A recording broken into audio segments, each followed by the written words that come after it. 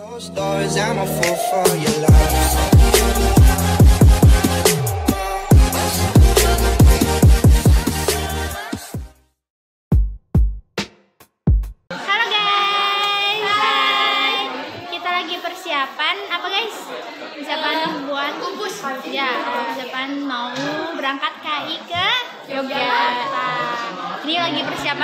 Ya. Kebetulan kita di bis 13 bis terakhir.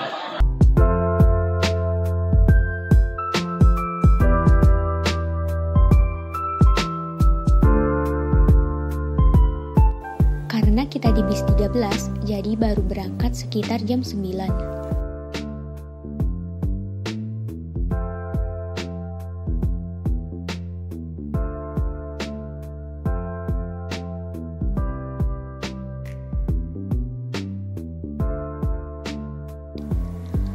Perjalanan dari Ciamis ke Yogyakarta sekitar 8 jam. Jadi nanti kita nyampe di sana subuh. Itu pun baru nyampe rest area Candi Mas buat Isoma. Oh iya, tadi kita gak sempet ngeplog di rest area.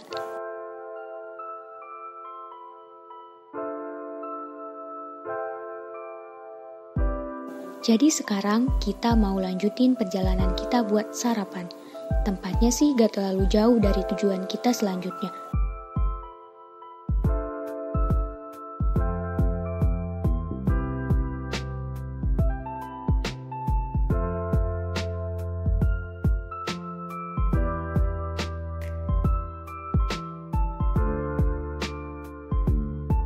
Yeay, akhirnya kita sarapan setelah berjalannya kurang lebih satu jam.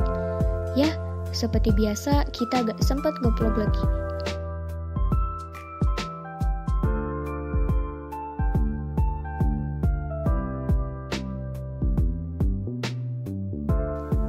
Setelah sarapan, kita lanjutin perjalanan lagi karena jalannya deket, jadi cuma butuh waktu kurang lebih 15 menitan.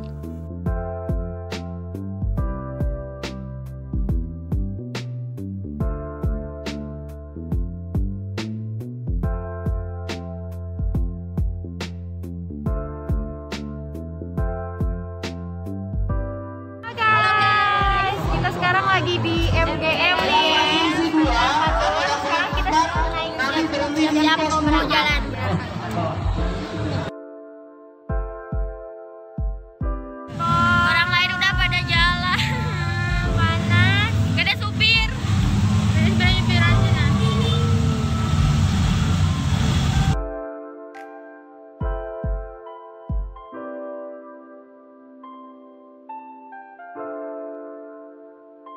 Tujuan pertama kita adalah ke Museum Mini Sisa Hartaku.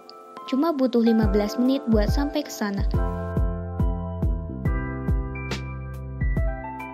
Gimana perjalanannya? Kita mau ke apa sih? Ke museum kecil kan?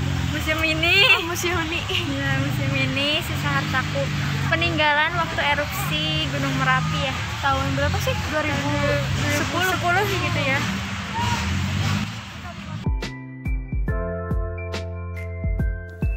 Oh iya, buat yang belum tahu, Museum Mini Sisa Hartaku terletak di lereng Gunung Merapi, merupakan saksi bisu kedahsyatan erupsi Merapi pada tahun 2010 lalu. Yang di dalamnya terdapat berbagai harta benda sisa letusan Gunung Merapi.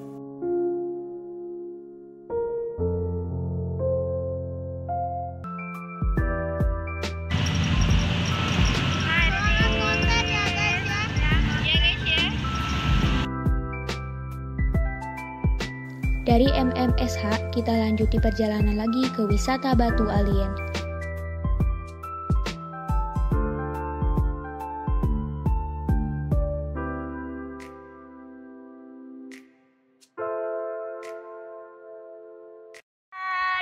Sekarang kita tuh lagi di Batu Alien. Alien. Eh, berdasarkan yang kita baca, batu, kenapa disebut Batu Alien? Karena merupakan bongkahan-bongkahan vulkanik yang Nagorolong yang turun ketika Gunung Merapi meletus pada tahun itu. Tapi jauh ya? Iya. Di sini kita lihat pemandangan yang kita lihat. Wow. Kan jauh. Jauh lah dari sini sampai si- eh dari situ sampai guys. Di situ terlalu banyak orang jadi kita milih di sini. Sepi. Allah, masya Allah itu di belakang saya itu adalah Gunung Merapi ya.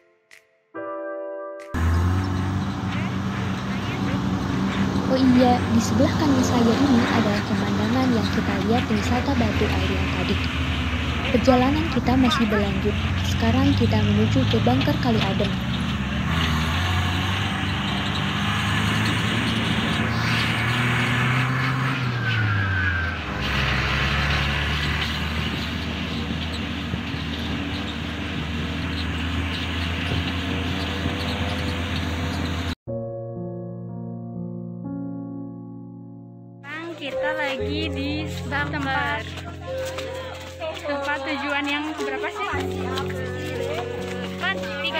Eh, tiga gitu keempat ya. Kita ada di bunker Kali Adem. Ini adalah tempat perlindungan darurat. Ada ada waktu ada bencana. Kayak kita mau masuk ke dalam. Kita lihat apa isinya.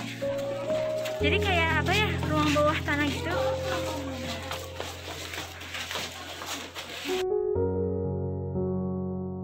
Yang kalian lihat saat ini bukan batu, tapi ini adalah endapan lahar panas. Awal mula dibuatnya bunker ini adalah untuk berlindung dari awan panas. Dan di dalam bunker ini, pada tahun 2006 menelan korban, satu relawan dan satu orang warga. Jenazahnya ditemukan di ruang toilet, tepatnya di dalam bak mandi, dan satu orang lagi di dekat pintu masuk.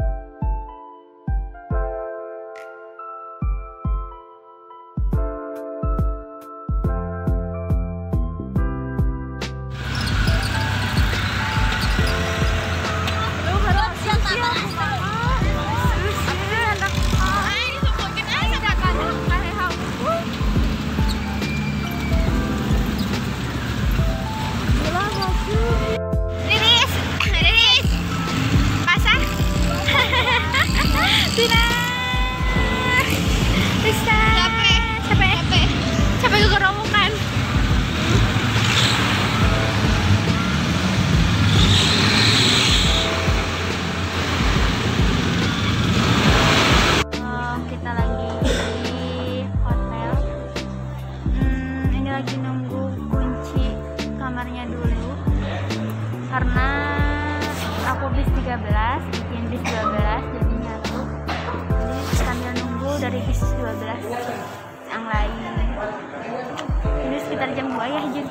ya.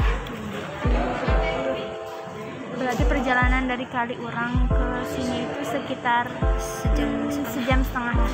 Sejam setengah. Tapi tidak terasa. Tapi lelah. Guys. Sangat capek. Nah, juga ada di sini karena dia juga nyatu sama bis 12. Halo, Riz. Halo, guys. Halo, guys. Muka-muka. Kala sinar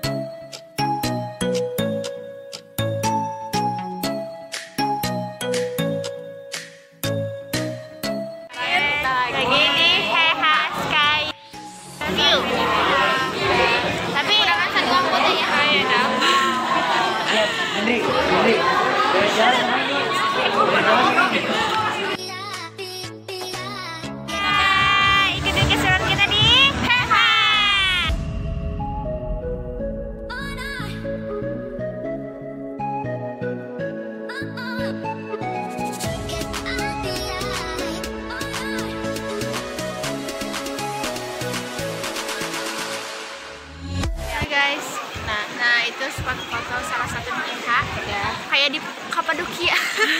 Balon udara. ya, ya, lihat tuh. Kebetulan penuh. Kebetulan penuh jadi kita gak bisa naik yuk. kita jalan-jalan lagi. Yuk. Oh iya guys, di pintu keluar Heha itu kita disuguhi dengan berbagai macam oleh-oleh yang bisa kita beli tentunya.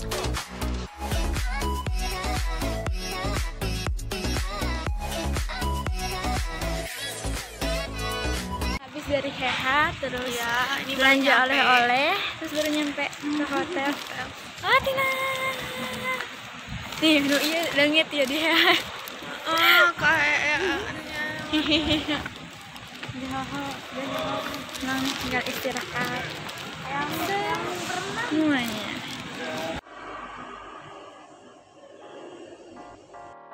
Selamat pagi, Eh, ini udah pukul 6 Eh, dan kita mau sarapan dulu di lantai 9 ini tepatnya lantai 9 kita dari lantai 1 yuk.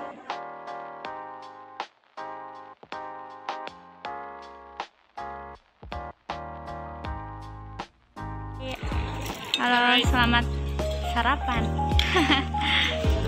lihat ya guys kulitnya ini teh ya guys. Nah, guys. lihat itu lima bibirnya yuk guys Nah, ini porsi saya. kita udah beres sarapan. Orang lain baru baru sarapan. Mau check out. Mau kunjungan industri ke MMTC sebelum ke MMTC jangan lupa sarapan dulu ya guys. Dari sarapan. Kok guys lihat dia lagi berkunjung dah izin sakit. Sakit iji doain dia ya guys. Mau sih buat silver queen. Udah kamari ti si ririsnya ris naon? Silver queen. Saha? Si kabe tuh ngasih oh eh tega panyesaan dadah. Daripada tadi dah halo guys. Kita mau check out sekarang. Dan kebetulan aku itu eh, eh, kelompok kita itu beda-beda kamarnya jadi ini kamarku ya. Udah mau siap-siap. Bye bye guys sekarang kita mau berangkat ke MMTC Kalian Biasa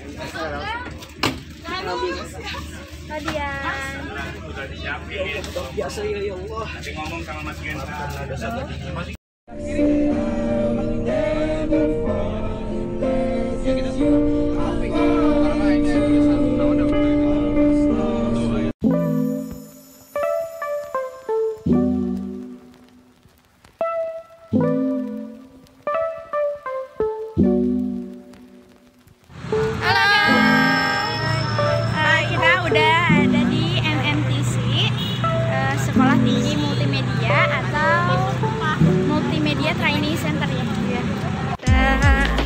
memasuki ya, ini di sebelah kanan kita ini adalah hasil karya dari mahasiswa-mahasiswa eh, di STMM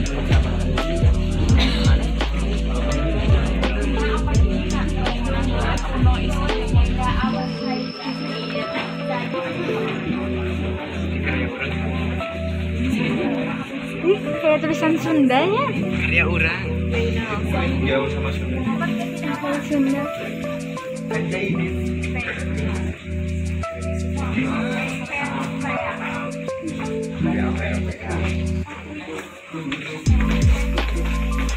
Di eh, studio yang ada di STMM.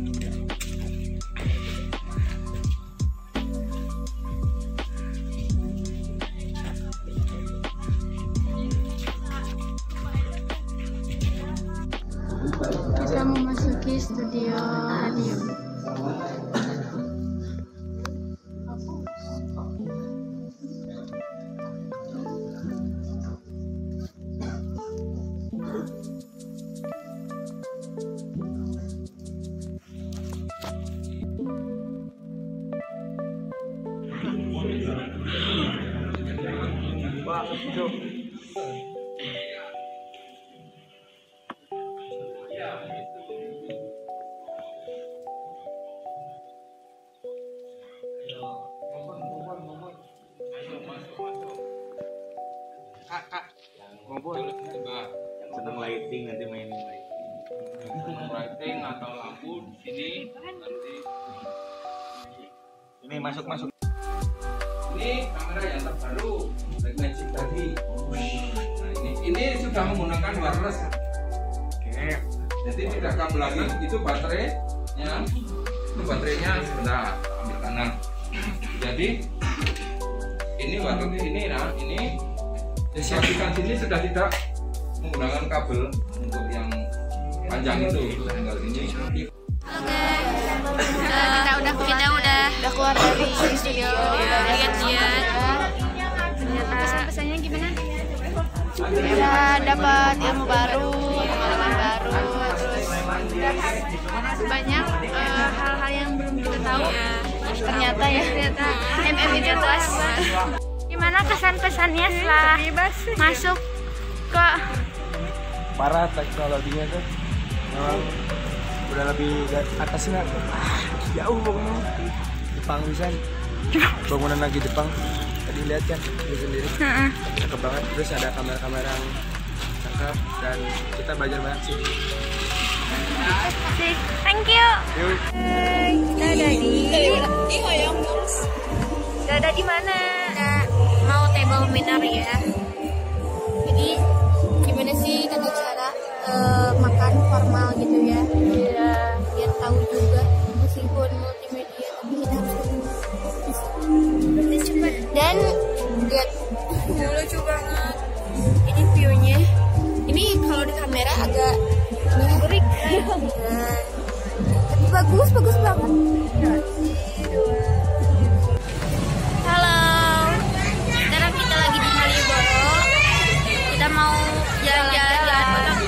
Terakhir ya. Soalnya hari terakhir hari terakhir di Yogyakarta.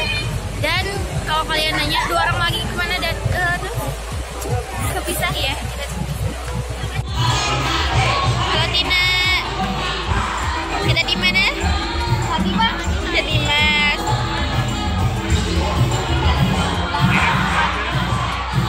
Kita mau pulang ya tapi makan dulu di Candi Mas.